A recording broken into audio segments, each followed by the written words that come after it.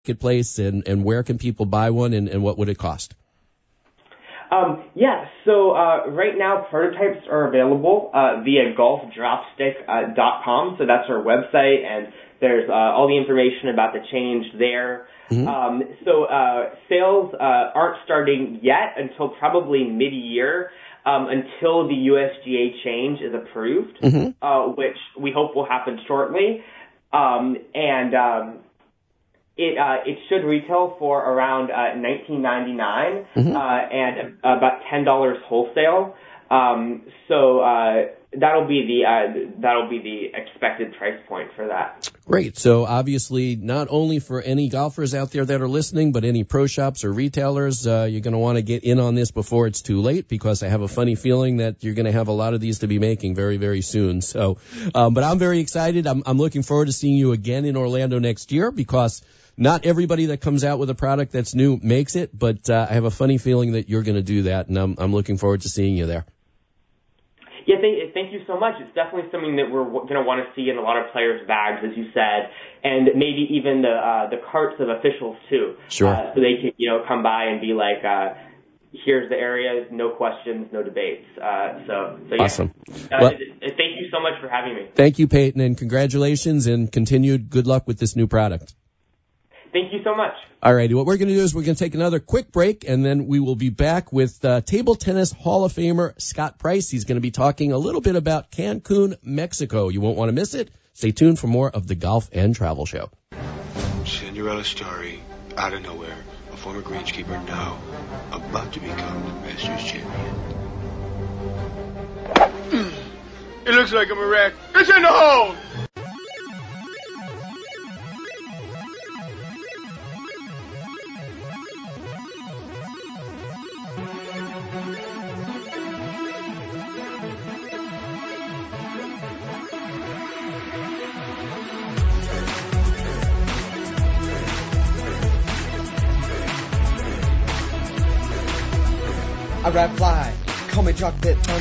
And we are back. And if your business needs industrial workers or if you're looking for work, you got to call Labor Finders. Labor Finders places for temporary or temporary to hire opportunities for skilled, semi-skilled, or general labor positions such as plumbers, electricians, concrete workers, forklift operators, hospitality, office clerical, and much, much more. Labor Finders has almost 200 offices nationwide.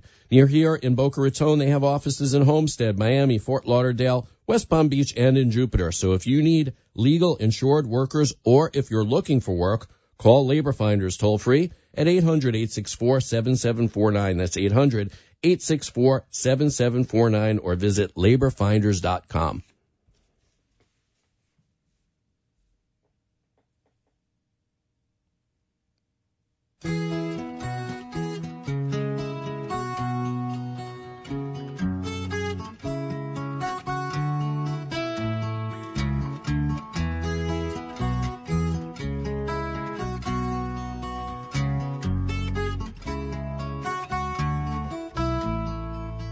Way down here, you need a reason to move. Feel a fool, running your stateside games. Lose your load, leave your mind behind, baby Jane.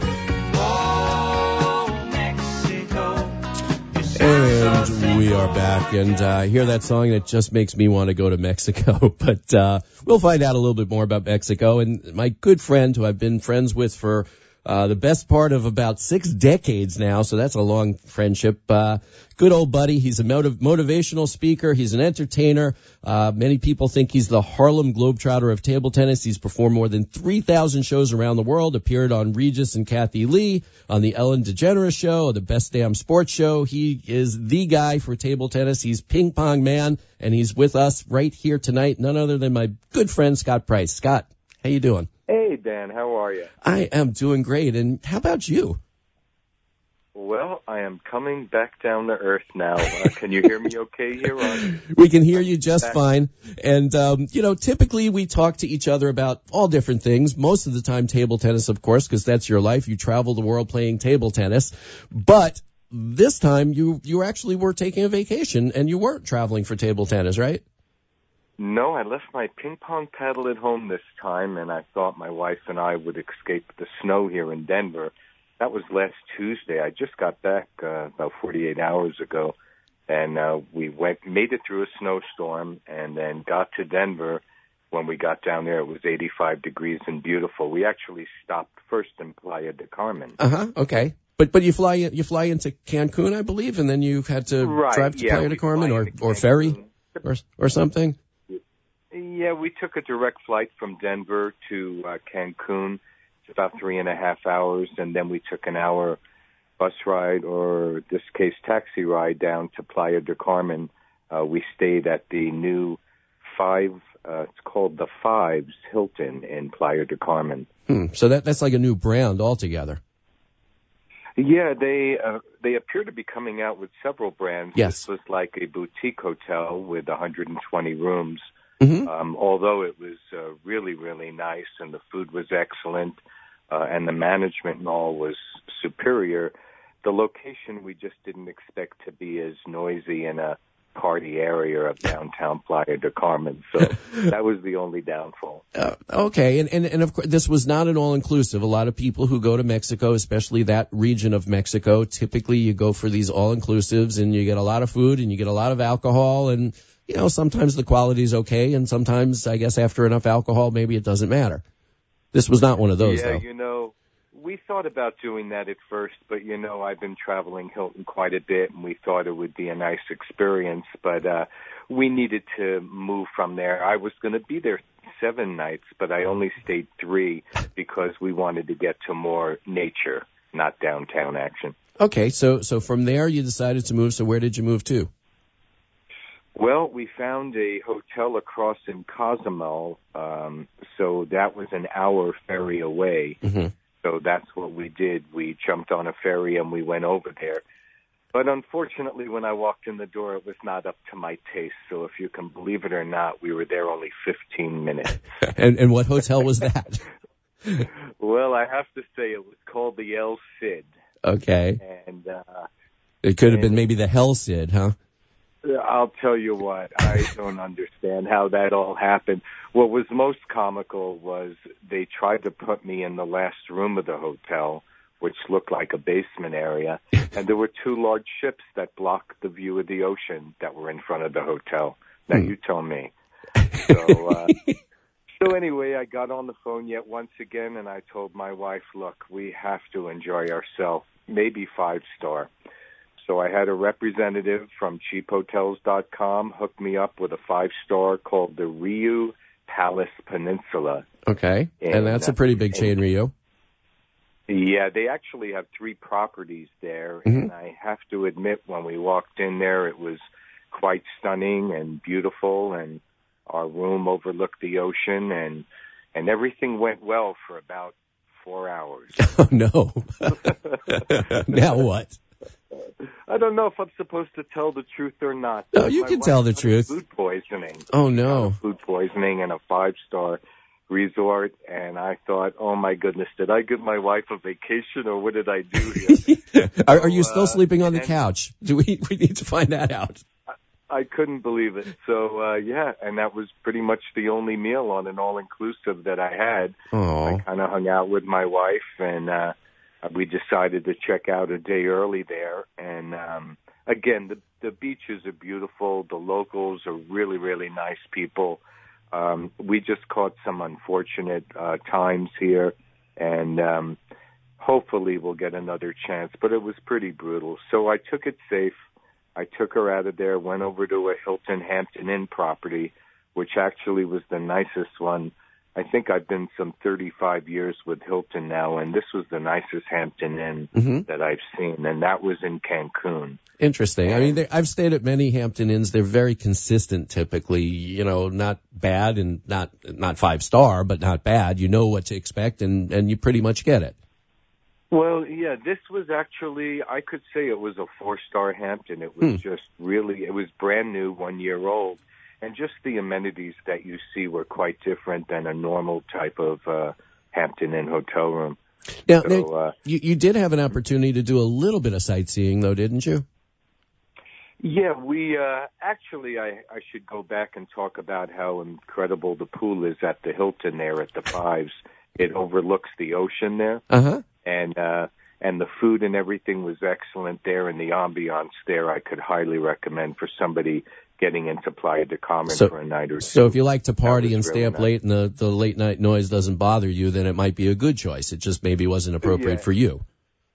yeah, that or earplugs, I don't know, like so my wife was real edgy to do one sightseeing, so we decided to go to the Coba ruins, which are about an hour outside of um, Playa de Carmen, near Tulum, the other ruins. hmm And uh, although there were a couple artifacts there, such as these um, ancient ruins, two or three buildings, which was interesting, it was a little misleading to think we were going to have a cultural experience at the Coba village, which ended up to be two huts, Dan. one hut with an old man in it and one hut with an older lady in it. Was that like the men's room and the ladies' room? and that's what they called one. She was making uh, uh, tortillas. It could have been Manischewitz matzo meal, as far as I'm concerned. I really don't know. and then the other, uh, the man was uh, like a beekeeper, but they had the audacity to tell me that this was an afternoon of a cultural experience. So Wow. I probably should have chose Tulum. So, uh, but more importantly, the weather is magnificent. The beaches, the same, are magnificent over there. Um, we really enjoyed ourselves that way. But you know what, Dan? I think we're going to go to South Florida and hang out on your beach next. There you go. South Florida is a great place. Uh, You know, it, it's funny. I was I was out to lunch with my buddy John, who who you know, and um, we were uh, just talking a little bit about living here in Florida, especially this time of year. And I I always focus, um, especially where I live. There's a couple of bridges, a new bridge that goes over these rivers that kind of uh, several rivers combine and then head out to the ocean, and it is so beautiful. And every time I drive around, uh, especially over those bridges, I look around and I say, you know, this is paradise because when you live here, you can certainly take it for granted. And I know you live in a beautiful place as well, although in the winter it's a little bit tougher uh, to deal with out in uh, Right. Colorado Springs area. But um, I know you do the same thing. You you take the opportunity to appreciate your surroundings even when you're not on vacation. So it's uh, you know we we have some a lot to be grateful for. Absolutely. Yeah. You know, I think we should appreciate all that we have right now. Also, being that we're in somewhat of a free country, there were some very strange uh, sights down there. I, everywhere I went, there were machine guns being uh, from the military standing everywhere. That took me back a little bit. Mhm. Did you feel safe so though, or no? Pardon? Did you feel safe there? Not especially. uh, I, I have to be honest, even though uh, there, I know there's a State Department warning for Yeah, three other major areas. Yep. uh, just so everybody knows. But the strangest thing, I looked out the window and there was a Sam's warehouse in the parking lot of this Hampton Inn. And my wife said, let's just go walking through there and then let's go to bed. So we go walking through the front door and there's a couple guys with machine guns standing at the front door of Sam's. Uh huh. So Oh, they gotta make sure you have your membership you. card. You know. yeah, it was. Uh, I'll tell you what, it's really. Uh, that's just different than our country. As we look around, we know, uh, you know, and horrible, uh, you know, what happened down there in South Florida. hmm But typically, uh, we've lived in a safe environment for many years, and and we should certainly appreciate that. Um, No doubt, but but again, it's it's nice to hear your stories, and it's nice to know how much you travel in all these different places you see, and of course, it's great to appreciate all of our travels and our vacationing. But sometimes there's truly no place like home. There is no place like home. I'll guarantee you that for sure. hey, by the way, in talking about a little golf, Dan, uh, I think we're invited over to Park City, Utah, Mhm. to play a little golf in July. So I'm gonna give your wife a little early warning on uh, that you'll have a sabbatical for golf with me in July. I was invited Oh. to play in Park City like 22 years ago. Beautiful Nicklaus uh, golf course called Promontory. Oh, okay. Very- Well, I'll find out. Very very upscale. over there. hmm It, it had just opened up then. It was a brand new upscale community. I think they, at this point, they may have two or three golf courses and just beautiful homes right on the outskirts of town there. And, uh, a great place to play golf. So yeah, I'll I'll, I'll start working on getting my freedom to to meet you out there right now. I think. That's great. Hey, and I really enjoyed the song. You know, I've been singing it for a few days. Oh. Because our friend David Herman Uh-huh. sent it to me a few days ago while Oh. I was down in Mexico, and How about so that? I've been humming that for a few days, and here we go. Well- so a shout out to Dave. So Yep, a shout out to David. It's funny because there were two songs with that same title, and I couldn't find a good copy of the other song. It, they're they're different, but they're both Mexico, and the other one is by a band you may be familiar with, and I don't know about the listeners, a band called Firefall, sure, Colorado based, uh, actually, Colorado band. You know, I have a good friend Glenn who loves that band, who lives in Long Island, and Yep. he's probably listening. Nope, I, I I love that band too. I just couldn't find a good version of it to play, so we opted for uh, a little bit of James Taylor instead. So it's funny we were on the exact same wavelength. So where's your next trip to? World Traveler. Well, I'm going to China in three weeks, and let's hope that I have a better experience. I'm actually going to Shanghai and uh, and to the south of China, Guilin, China, Mm-hmm. and uh, that's uh, if you ever see the scenery pictures of China with the fog and jagged Mhm. mountains. Yep. That's uh, Guilin, China. So I'm looking forward to going over and visiting with my wife's family and eating some good Chinese food and and um, I'll do that, and followed by Las Vegas, Dan. And I'm hoping to see you on that trip. We have that big championship there in. Uh, Well, I was I was going to say, when's your next um, uh, business trip for table tennis? So is that the next one you got, or you got some other exhibition? Yeah, it's the world the World Veteran Table Tennis Championships. Athletes that are 40 and over, there are 5,000 players coming to Las Vegas to Wow. play in that. Unbelievable. So uh, I'm looking forward to that, and um, yeah, so just keep doing it. You know, I've been training for 45 years, and I'm only 26 years old, so I it's amazing. And and when are you, when are you going to reach your peak? Well, my wife thinks I'm done now, but I'm 77. My wife too, and I'm not even competing in anything, and she just thinks I'm over the hill anyway, so it doesn't really matter. I think I saw too many Rodney Dangerfield uh, YouTube clips, and that's what's going on there. So, Oh man, well I don't know if I'll be able to meet you on that trip. I'm going to be in Vegas myself. Uh, I think at different dates in in April. Um, I'm staying at the Encore and the Cosmopolitan. Where are you staying on your trip? uh, you know, I just had new developments on Oh. hoping Bellagio, but I don't know right now. I put together. I was um, offered to do an exhibition in front of the fountains there at Bellagio. Mhm, So okay. kind of what I'm working on right now. I'm hoping to invite three Swedish world champions for a round of golf and then go play a little pong and have dinner. Well, you know, th- those fountains, they choreograph the fountains. They dance to music, of course, a musical score that they have. I would like to see if they could program it to, for the water to dance to, uh, your theme song, Wipeout. Well, that would be cool. You know what? uh, if you know people in high places, maybe it'll get done. So I'll I'll keep you posted. I, I would love to see that, and uh, maybe then I would come out and, and make a special trip. So we'll see. But it's always great when I get an opportunity to rendezvous with you. Usually we're passing in the night, and you're we're in the same city a week or two apart, and we don't always get to to meet up. But uh, lately we've had a little bit more luck, so maybe we could make it happen again soon. Yeah, I think we'll come through. You know, Dan, one more thing I just wanted to say for people going down to Mexico or booking these all inclusives. Do do real, real serious homework before they make a decision. Yes. Um, part of mine perhaps was being hasty, but really do some serious decision making and always go for the better one is my advice. Yeah, vacations are precious, and when they don't go as planned, it's a bummer. That is correct. Now, your website, why don't you tell everybody so they can keep up? You have a new website, actually, and it, it looks great, and uh, lots of videos and, and really cool table tennis antics yeah, from uh, from Ping Pong Man. so Ping Pong Man. Ping Pong Man, that's it. Pong Boy, is that Man. easy. PingPongMan.com. All right, well, thanks again for joining us tonight, Scott, and I'll be talking to you real soon. All right, Dan. Take care of yourself. Alrighty, what we're going to do is take one final break, and then we will be back with a little bit of travel news and some of Dan's deals. You don't want to miss it. We'll be back with more of the Golf and Travel Show. Stay tuned.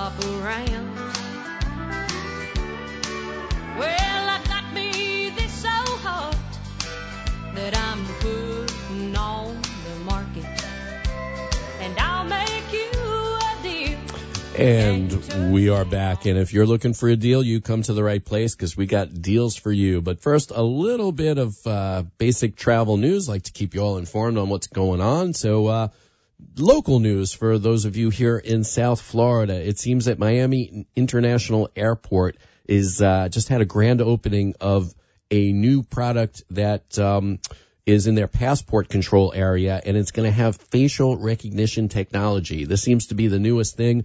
Uh, the TSA is uh, looking into it as well as a way to try and shorten those lines at TSA as well as lines at, at passport control.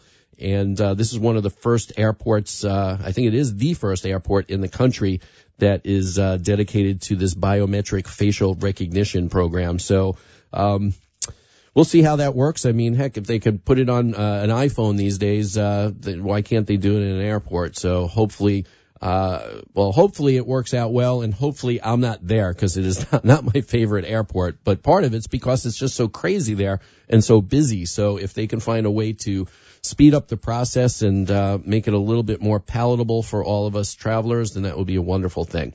Um, we also like to talk. Well, you know what? Let me talk about one other airport as well. Um, right now, with the weather being as rough as it is up in the north, uh, you have to wonder about this. But this is an airport that is so busy and often has a lot of delays because of where they're located.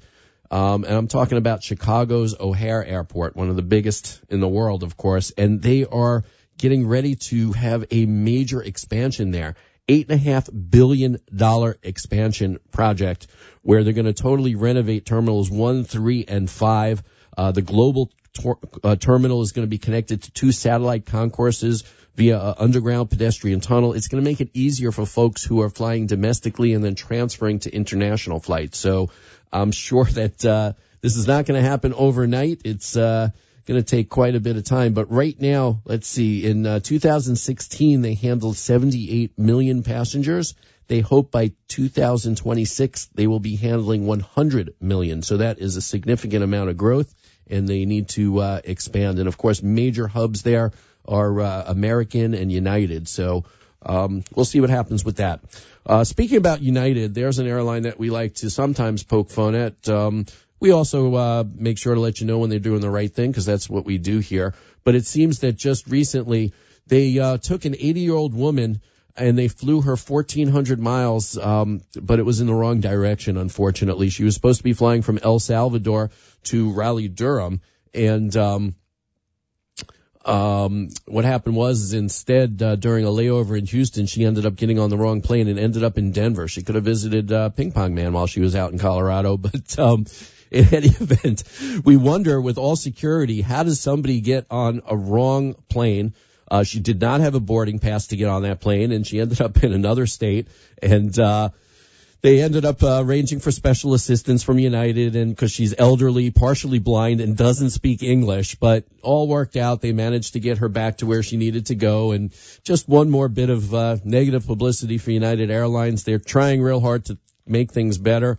Um, they're trying. Unfortunately, they haven't quite gotten there yet, so we will see. Um, wanted to let everybody know about a local event that's taking place this weekend right here in South Florida in Miami Beach. It was uh, this. This is uh, it, it's kind of close to my heart. Um, not a religious person at all, but my mother occasionally would throw a couple of Yiddish words in here and there. Uh, she had a, a little bit of uh, vocabulary in Yiddish, and I picked up a lot of it. So I I use those Yiddish words whenever I can, and she gets a kick out of it. And even some folks at the office, they like it. And of course, um, according to this press release, some 5,000 Yiddish words are now actually officially part of the English language.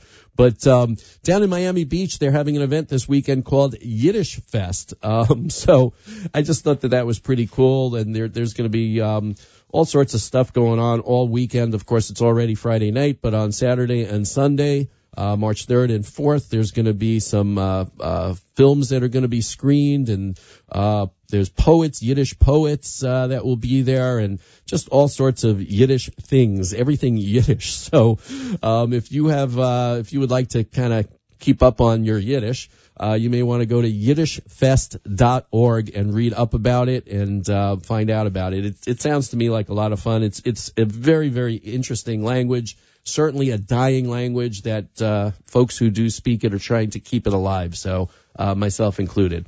a couple of deals for you all. We only got a couple more minutes, so I got a couple of deals. Here's a place that I have been to twice. I absolutely love it. I would retire there if my wife would let me. Um, unfortunately, it would have to be without her because she won't go there, but uh, I love it, and I am talking about um, Costa Rica. Uh, here is a package found on Travel Zoo, and it is a great package. It's six nights uh, in three different towns. You're going to spend uh, time in San Jose, Arenal by the volcano, and Monteverde, which is the cloud forest, where you're actually in the clouds or above the clouds. You got decent accommodations. I mean, they're not five star, but everything is clean and nice and beautiful in Costa Rica. This includes um, actually, uh, let's see, airport transfers, hotel porterage, um, nine meals, uh, transportation and a private motor coach. And trust me, driving on those roads can be a little harrowing. It's better to leave it to them. Airfare, taxes, fees, seven ninety nine per person. And these are for dates in September and October. Uh, you got to book it by March 9th and again found on travelzoo.com. One other website that I like to go to from time to time, I've mentioned it before, uh, for airfare, especially for international flights, is a website called Scott's Cheap Flights. So it's scottscheapflights.com. and from Miami, uh, as well as many other cities, you can get some really good deals to Brussels and not so much Miami, but other places to Zurich. But I noticed Miami, $387 round trip nonstop to Brussels. And this is not on an economy, uh, economy um, uh, carrier. This is on either Delta, Air France, KLM, Swiss Air, or United. So you will get your meals. You'll usually you get alcoholic beverages. You can check bags. Uh, without all those extra fees for $387. I just sent two of my employees to Austin from uh, Palm Beach, Austin, Texas, and it was about $600. It was, of course, short notice, but the fact that you can get to uh, Brussels for $387 nonstop round trip is incredible. So you might want to go check out scottscheapflights.com. Uh, you do, uh, you can use it for free. You can sign up for their email notices for an additional fee. They have extra special deals that are even better. I haven't signed up for that yet, but, uh, I, I, might one day, especially when I know that I have a trip to Europe uh, or somewhere eminent. Thanks again to our guest tonight, Peyton Robertson, inventor of Dropstick, drops, golfdropstick.com, and of course, uh, Scott Preiss, pingpongman.com. Uh, go to uh, facebook.com forward slash the golf and travel show, like the page, and then you'll know who our guests are going to be every week. We'll be back again same time next week with another edition of the golf and travel show.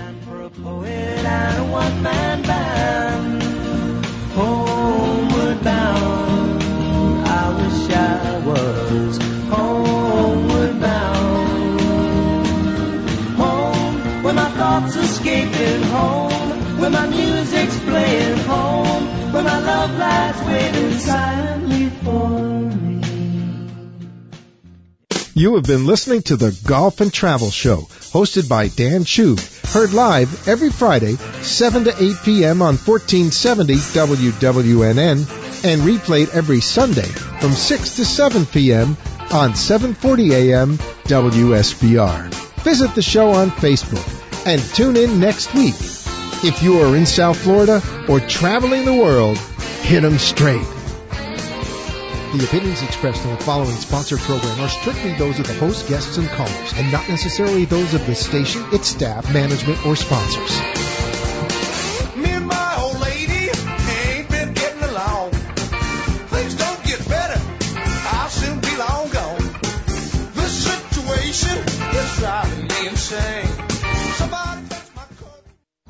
Okay, gang. So, chances are there'll never be an emergency ever, ever again. Mhm. But, just in case, let's talk about a plan. Okay. So, who's gonna do what? Anyone? Uh, Yeah, okay, perfect. We'll figure it out as we go. So, who is going to grab the go bag? what's a go bag? It is a bag we do not have that is filled with things we really, really need in an emergency. Guess we won't have to worry about it then. Ah, good point. So, uh, we all know who to call if something happens then, right? I'd have to call Jill, Devin, Melissa, Karen, and Bruce. And I will try to call all of you, but Greg doesn't have a cell phone. Dad's phone will have a dead battery. No doubt. And Julie will be on the phone with Jill, Devin, Melissa, Karen, and Bruce. Well, this is great. I am so glad that we don't have a plan. I know. Winging it is not an emergency plan. Make sure your kids know what to do during an emergency, who to call, where to meet, what to pack. Visit ready.gov slash kids for tips and information. A public service announcement brought to you by FEMA and the Ad Council.